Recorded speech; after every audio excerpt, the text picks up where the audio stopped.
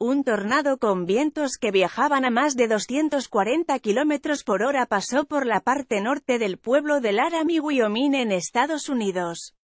Afortunadamente el torbellino avanzó por una zona escasamente poblada. El fenómeno, que fue captado en video, duró 30 minutos, http video.dailymail.co.uk barra video barra mol barra 2018 barra 06 barra 07 barra 8744411931052035325 barra 640x360 barra baja mp4 barra baja 87444119310 52035325325.mp4 Mientras se dirigía a casa junto con su hijo de 6 años, Aaron Bosch grabó el tornado. En cuanto lo vio, el hombre llamó a su esposa y le pidió que evacuara el pueblo junto con su otro hijo, de 11 años, http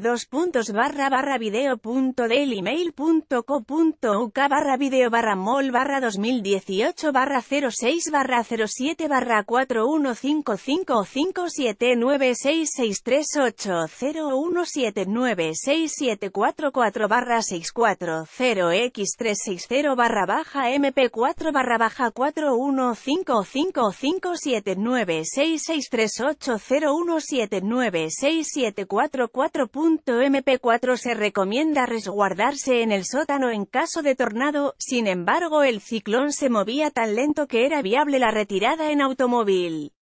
Las autoridades advirtieron a los pobladores de Laramie que buscaran refugio, pero eso no evitó que la gente captara en fotos y vídeo el momento, http